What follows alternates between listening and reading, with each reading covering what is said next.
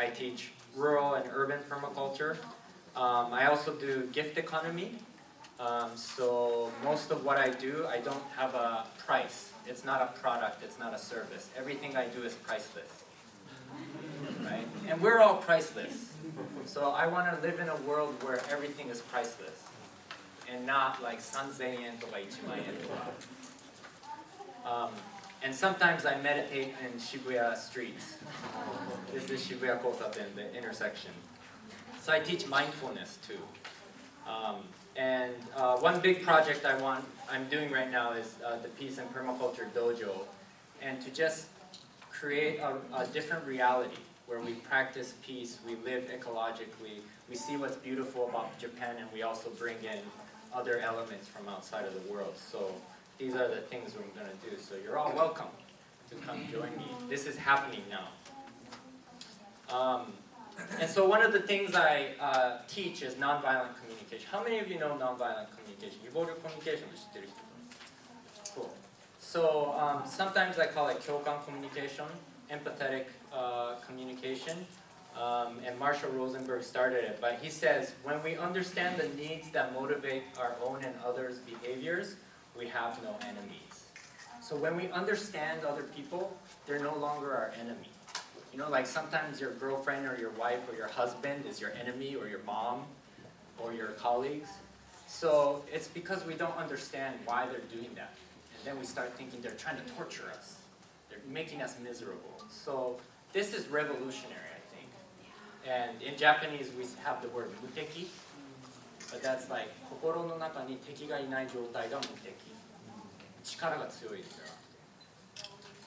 And um, the, one of the goals is a paradigm shift. So working from fear paradigm to love paradigm. So think about how many decisions you make in your life based on fear. Like, do you choose your job because you really love it? Or do you choose it because you're afraid you're not going to have enough money? Or you're not good enough to get a better job? Or live without money? Or just do what you want to do? Or, you know, any number of things. Just start to check like when do you live out of fear and when do you live out of like, I really want to do this and that's why I'm doing it.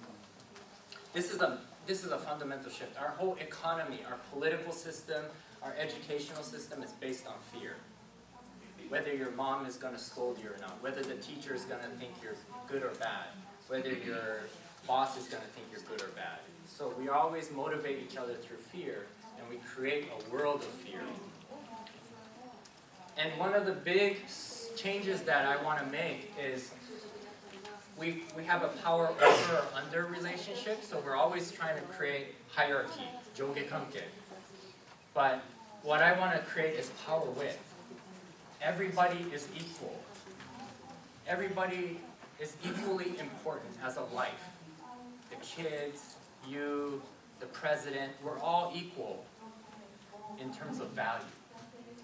Right? And that's the world I want to create, and I think a lot of you would love to see that world, but maybe you can't believe it yet. Um, so, what is empathy? Um, so, my the way I explain empathy is it's not something we do in the head. It's something we do in the heart. So it's a connection from the heart to the heart. Um, and unfortunately, our culture, we're not very good at that. So we always think who's right, who's wrong, um, who's better, who's worse. But we don't, we don't go beyond that often and just be like, what is that person feeling? And why are they feeling that? You know, and just being curious about that person's human experience. So that's the empathy. But to be able to empathize, first we need to be able to self-empathize and connect with ourselves. Because sometimes we don't know why we're angry. We don't know why we're happy. We don't know why we're crying. We're so disconnected from ourselves. So self-empathy is about embracing your feelings and what's behind the feelings. What are you needing? And this takes time and this takes space. And it's not a, it's not a process you can think about, it's more like feeling. Um, so connecting to the feelings and the needs. And I think you can all relate to this. We are our greatest enemies. You probably would be doing much more greater things if you yourself weren't stopping you. Right? And so our insecurities, our fears, we're not good enough. I can't do that. And our childhood traumas, things we have difficulties in our childhood that keep us from moving forward, prevent us from fully being in our power. I think all of us could do much greater things if we had peace in ourselves. But these things hold us back, and we don't have time to connect. Um, and this is what's happening in our heads. You know, like you should know more English. You took all those classes, and why don't you know English? right? And so it's happening in our heads, and then our minds are so focused on that that we're not here, fully present. Um, so, for instance, like I'll just I'll just demonstrate it really quickly. So I feel nervous right now, and I can feel my heart pounding quite quickly. And so first is just connecting to your body sensation. What's going on in your body right now? And try and feel the nervous. And the nervousness is a little bit like a little bit scared, a little bit not quite fully here. So that's the feeling. And behind the feeling, like why am I feeling that way? I'm feeling that way because I want to be accepted by you. I want you to uh, think that, you know, like I'm, I'm doing something important and that I, I, I just want to matter, you know.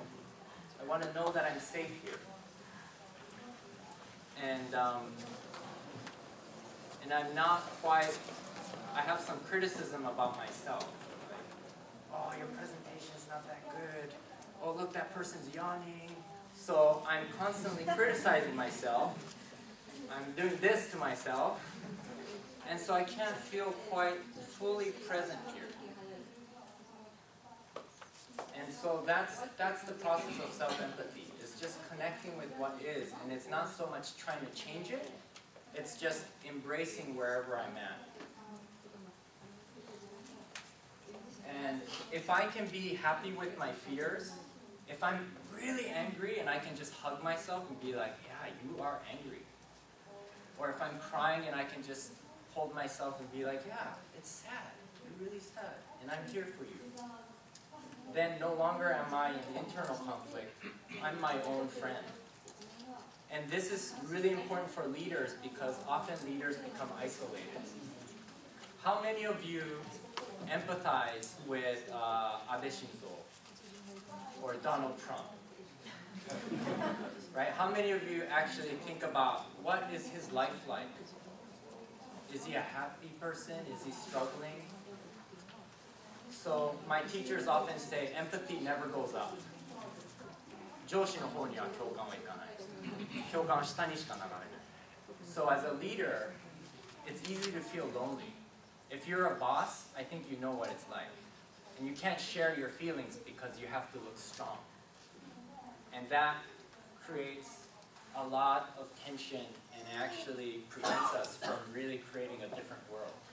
So I, I do a lot of uh, work with people, but I try to be as honest and authentic 本物であることリアルであること as possible and that creates a heart connection that creates power with not power over um, and this is uh, Thich Nhat Hanh, a Zen master, and he says real strength can be found not in power, money, or weapons, but in deep inner peace.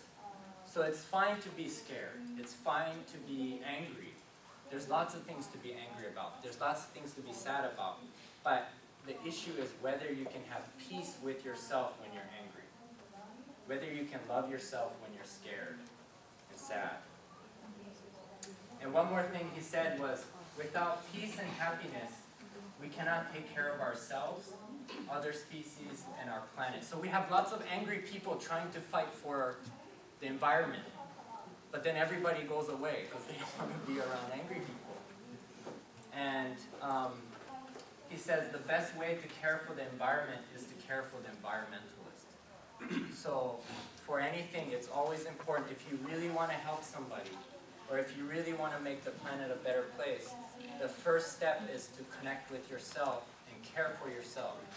And if you're happy, if you're peaceful, then that's what you're going to spread is happiness and peace. But if you're angry, you're likely to spread that anger, even if it's for a good cause. And um, Gandhi said, my life is my message. And I think this is really powerful. A lot of people follow Gandhi, but they follow Gandhi because he really practiced to be peace. He really practiced to be love. He had no enemy. And it was his it was his being that really drew people to him. And I think you know people who just seeing them, you feel drawn. Like there's something about them that has so much power and you're like, I want to be like that. Or I want to know that person. And so for me, it's always about being and not so much what you do. Because lots of us do lots of things. But if we look back at the couple of years that we've been working hard, it's like, what did we really do that changes the world? You know, we get busy. And so it's really about being, and being is about connecting to yourself and creating inner peace. Um, so that's really briefly what I do, and I actually work in Japan, so if you want, we can work together. But self-empathy is really important, and oftentimes we forget. Because there's so many issues outside, so we're always trying to put out the fire, but the fire inside is still burning, and it'll drain you, and eventually you won't last, you'll uh, burn. Moetsuki Shokogun. So this is kind of like really important, and I think our the Japanese Zen culture taught that, but we've forgotten that that's important. Um, so, one last slide.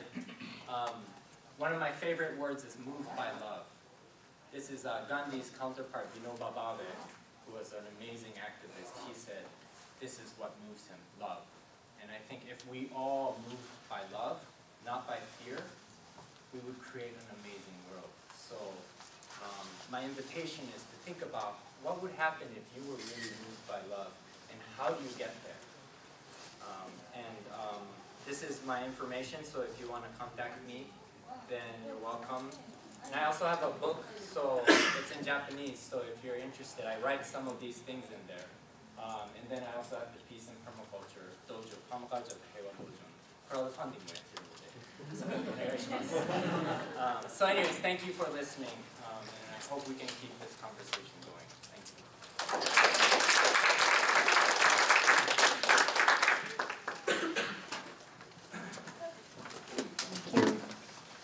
Uh, Kai was talking about uh, being the present moment and connecting with ourselves. So we wanted to invite you again to take one minute of reflection to connecting with yourself, everybody that you heard today. And to think if you have any kind of, if you have any questions to make for us, we have like a couple of minutes for questions and answers. So connect to yourself and check if you want to ask any of us something, okay? Just one minute of breathing and connecting.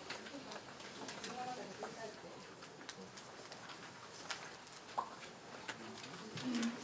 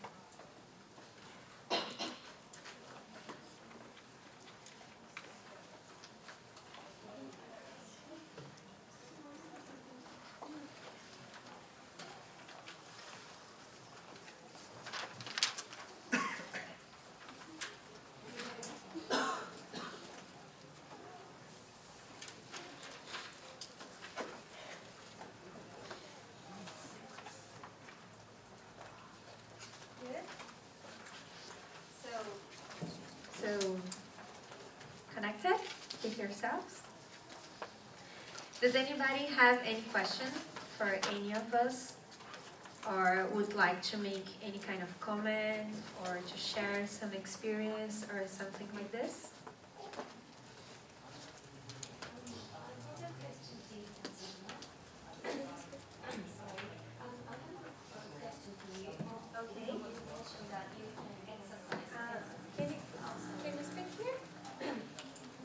Everybody can, can hear you. Okay, so I have a question to you. And you mentioned that you can exercise the to how to empathize you know, with myself. But, but do you have any like, mm, specific ways to exercise empathy? To exercise empathy? Yeah, there are actually um, a lot of different ways. Uh, I'm going to try to share with you a couple of them. So, one, uh, maybe the first exercise um, about empathy is to try to change your look, the way you look to people, you know. Um, sometimes uh, Kai said something about it, like you look people like they are our enemies and they are trying to hurt us or something like this. And I think the first empathy exercise is to try to understand that everybody has a context, has a story.